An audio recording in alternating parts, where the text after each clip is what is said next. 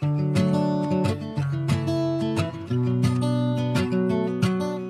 we moved to the farm, it really felt like we had stumbled across the Kiwi dream. Young couple on the farm, starting a family, working hard, living in nature as a team with the animals.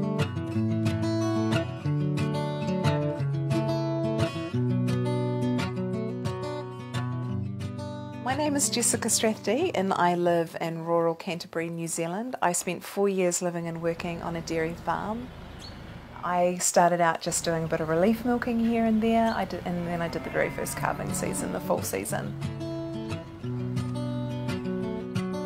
Gosh, I remember it so well because we, we left Dunedin and we and we moved to Canterbury to be on the farm.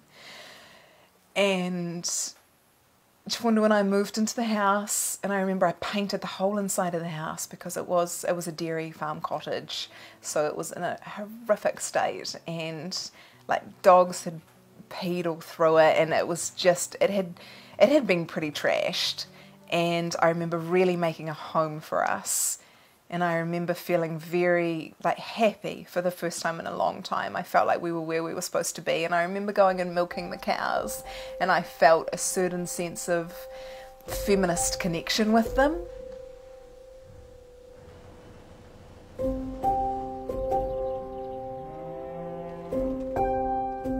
But it wasn't until my first morning in the calf pens it dawned on me how of how I'd been getting that milk. And it wasn't a, and I realized it wasn't a sense of feminism. I was I was taking their babies to get that milk and it, I realized how sinister it was.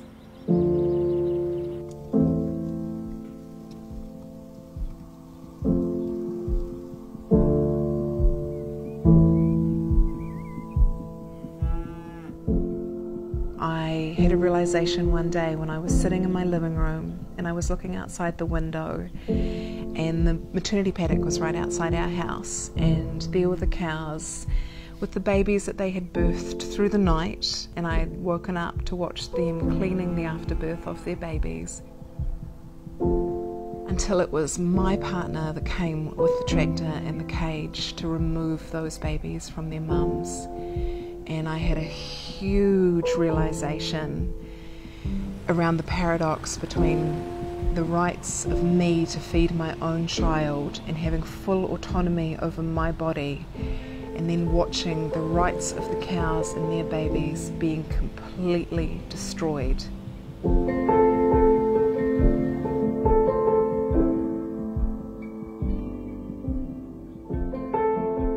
I can still hear cows calling for their babies from our house.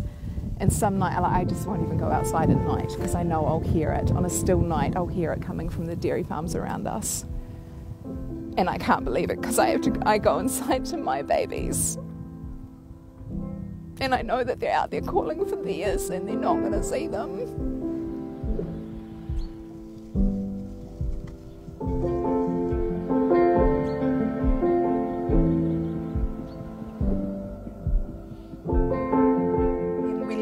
Farm because Tafunda just knew that I couldn't. I couldn't be there a moment longer.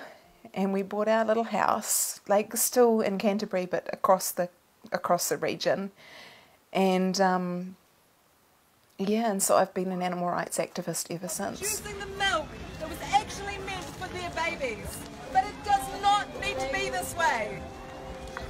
Mothers of the children that's taken away an article as in Women's Day came out, and I think the heading was um, "Farming Turned Me Vegan," and that was quite quite huge in 2017 because I think up until that point, I don't even think veganism was particularly even talked about in a positive light. And then I was asked to talk that year at the Vegan Expo, and then that went online and within a few days, I had picked up half a million views, and that was just a couple of minutes of me talking about being a breastfeeding mum. Be able to nourish my child from my own body lightly. I guess I see my role as an animal rights activist as more a like a conduit for mothers, especially parents, not just women, but parents, to understand that we are all biological beings who instinctually want to protect and look after our offspring. We're all the same.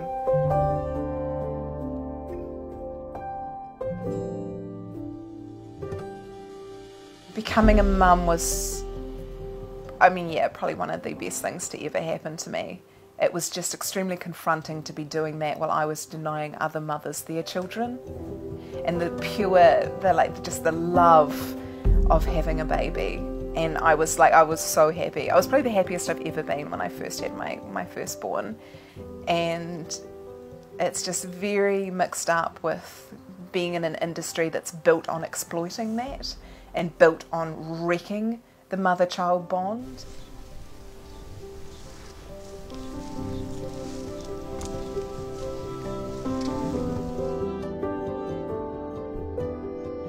Best way I know how with my kids is to be relatively open and honest at a level that's appropriate to them. But I mean, every day I'm sure they're going out there and hearing things that are contrary to what their dad and I are teaching them. I want to be for them to be going to their rural schools and showing other kids how normal and natural it is just to live vegan.